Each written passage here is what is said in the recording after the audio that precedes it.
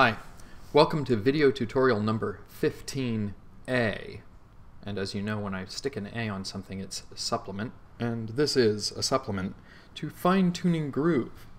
Um, the supplement.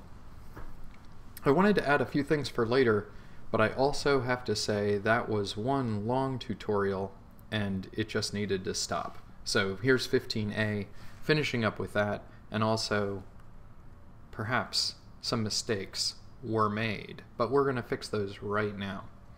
Let's open up our super duper sampler um, and then open up one of our super samplers. And I'll, while we were working on it, everything seemed to be working okay, and let's just see that it is.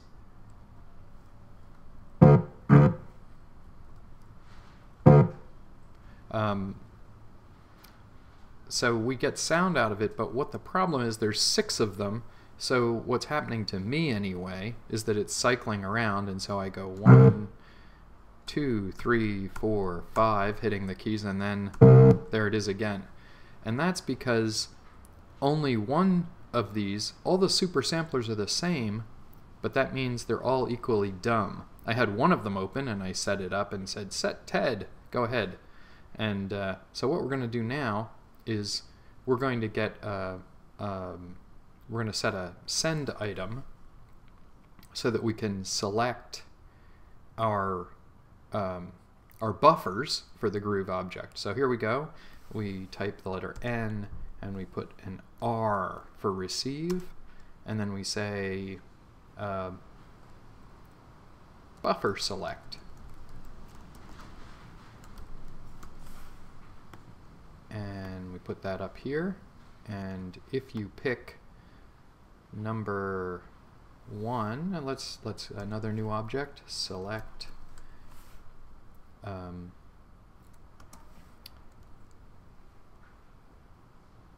let's just say one no no no no. Well yeah we'll make it one or two. That way a zero won't won't give us anything we don't want. So we'll connect that this will send out a bang if it matches 1. And this will send out a bang if it matches 2.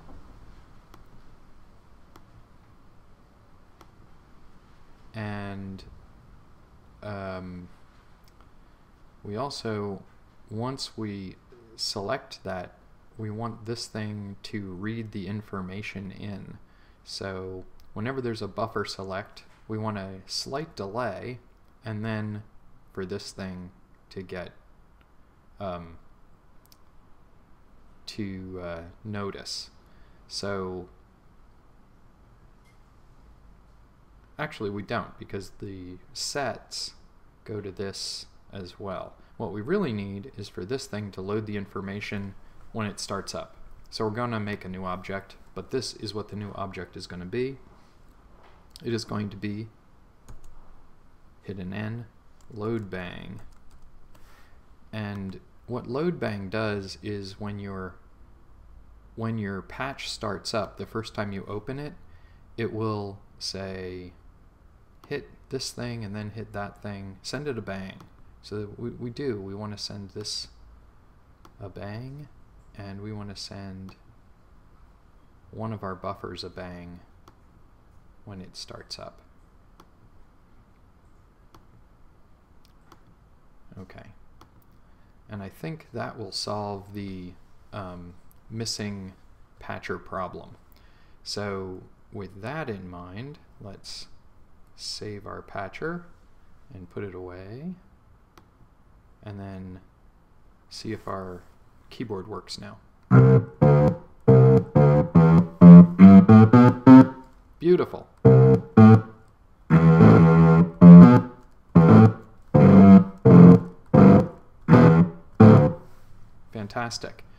Let's go back here since not all those patchers have information and we'll just click loop select on and off and let's read uh, new sound into TED and let's read a new sound into Fred. so that they're backwards.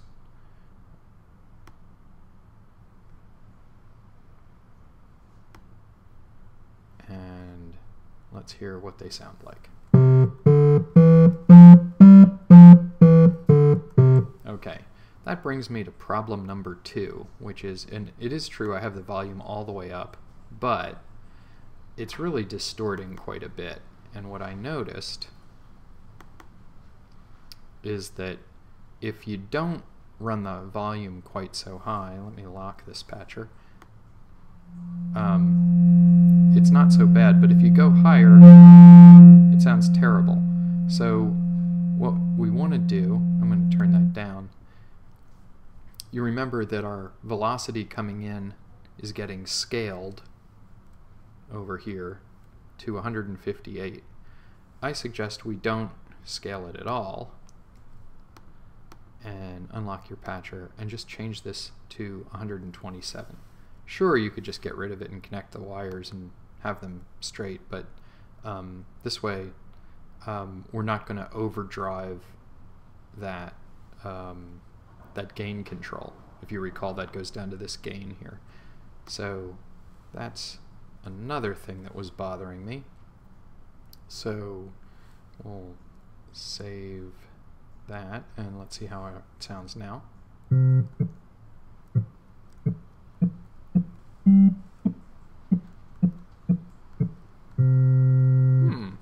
Interesting. I wonder what that's all about.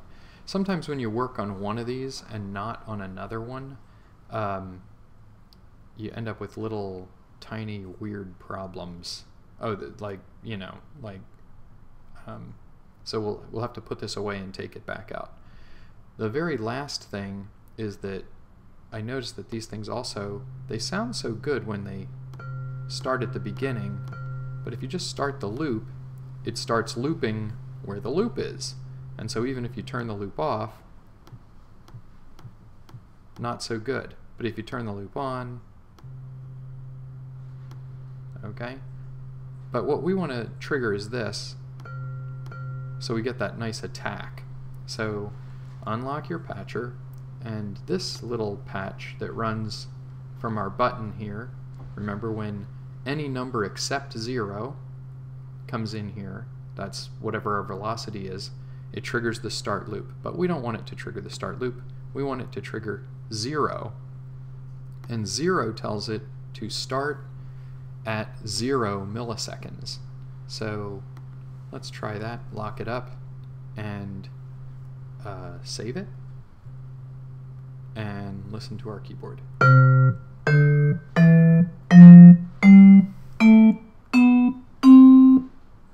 So much better.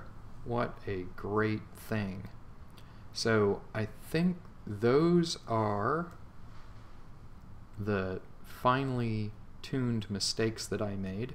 And then one thing we're going to do here before we leave this patcher is copy this little item here, this receive buffer select, because we have nothing sending anything to it. So we're going to command copy that. We'll close this patcher. We'll close this patcher. And here we are back over here. We'll unlock this patcher and paste our item here. We'll bring it down here and um, turn it into a uh, uh, a send and then we're gonna just type a new message here. One which should give us Ted and another message two that should give us Fred. And uh,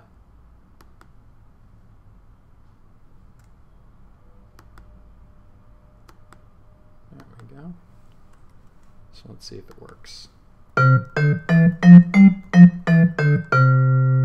was that you, Ted? Let's try Fred.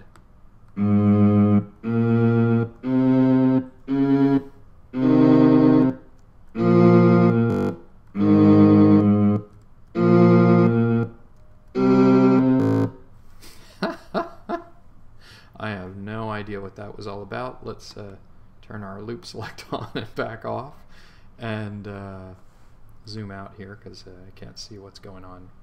So um, that's our buffer select over there now.